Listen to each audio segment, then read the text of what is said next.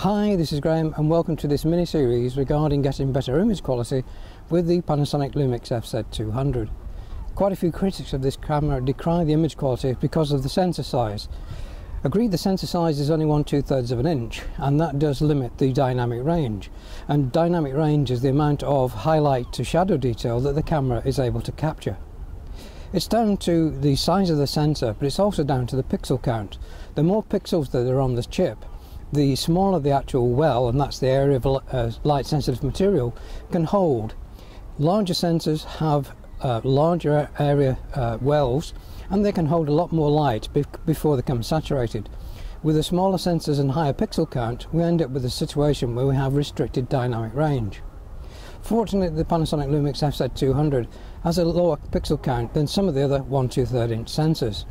So we do get better dynamic range with this camera. One of the biggest image killers is in fact bright sunshine. The brighter the day, the less these cameras will perform in this sort of lighting conditions. The camera performs extremely well in low overcast lighting. Bring it into bright sunshine and this dynamic range becomes a real issue. This camera has a dynamic range of around 10 f-stops, so that's equivalent of about 64 light levels. If you expose in the middle of the range, you've got 5 stops under exposure and 5 stops over exposure of latitude. Beyond that, you'll lose the highlights and, and, and shadow detail. You can't add neutral density to try and restrict the range, as again, the camera is restricted to this 10 stops range. So even if you're putting neutral density onto it, you are just shifting the range at which the camera works, but you still only have the same dynamic range.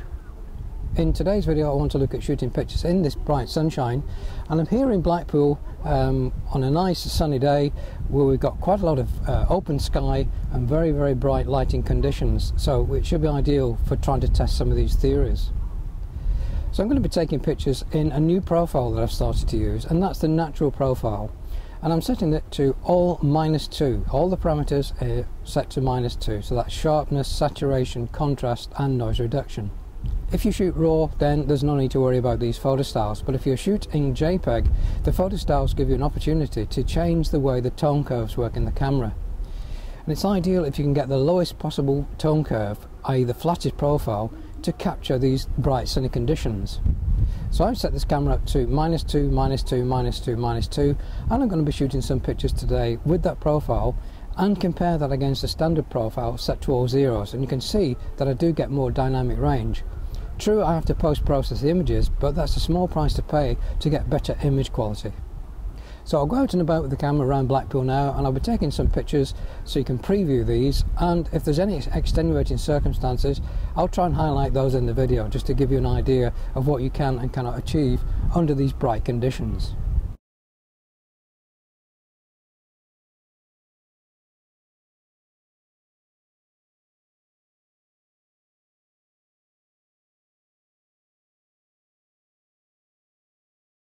All the images you're seeing here are the in-camera JPEGs shot using the natural photo style with all the parameters set to minus 2 and then post-processed in my photo editing software to bring the normal contrast ratio back.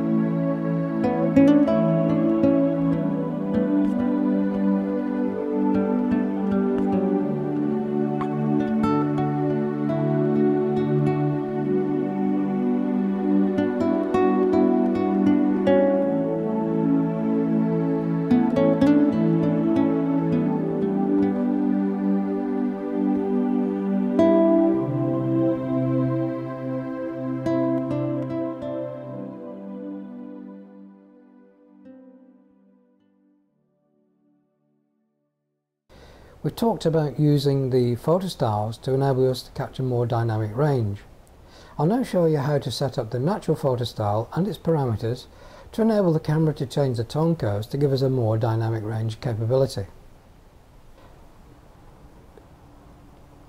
I want to try and persuade you first of all to move away from the IA mode of the camera and set up for the aperture priority mode.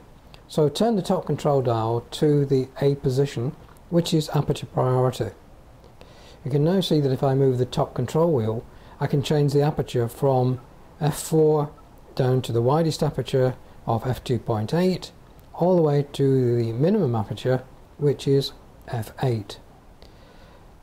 As I've explained, we do see some diffraction effects at f8, so I would say the minimum aperture you should use is f6.3 or f7.1, but you'll get the maximum benefit from the lens if you use the f4 setting.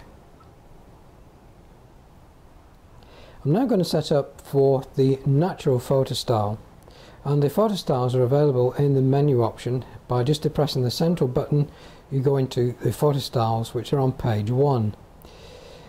If we cursor through you'll see that I have the standard photo style and this is my normal camera setup where I have plus 1 sharpening and minus 2 noise reduction. The effects the parameters have on your image at ISO 100 are quite small. It's only when you start to move into ISO 200 or 400 that these factors will come into play. In very bright sunny conditions, you might want to consider using the natural photo style. And if we cursor across to the right hand side, you'll see that we change from vivid into a natural photo style and by default the camera sets up all the parameters to be zero. To capture more contrast range we want to turn the natural uh, contrast to minus 2 I also set sharpness to minus 2, saturation to minus 2 and noise reduction to minus 2 so the effect is minimum.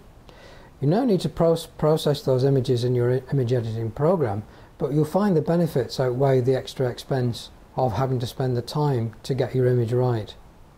So with this natural profile set with minus 2 across the range you're giving the camera the best opportunity to create some nice JPEGs for you.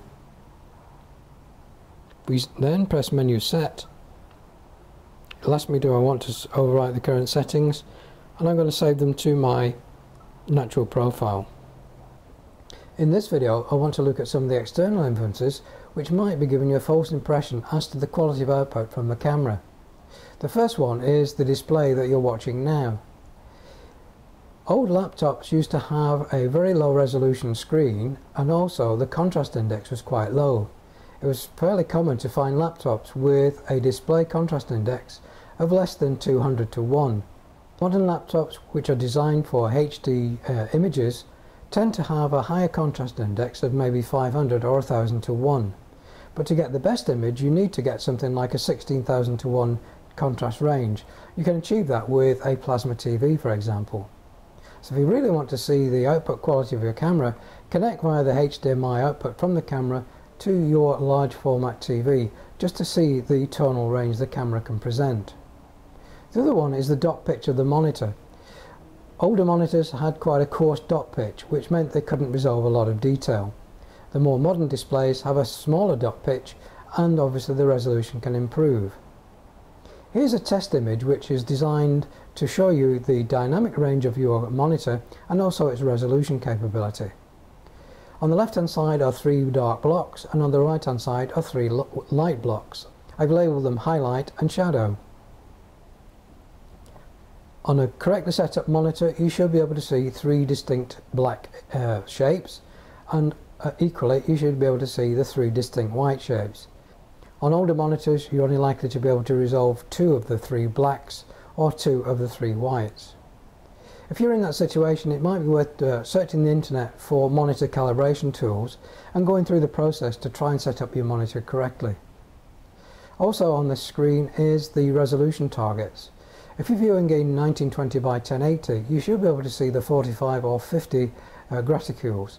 If not again then you need to be probably looking at an external monitor to get a better idea of how good the resolution of this camera is.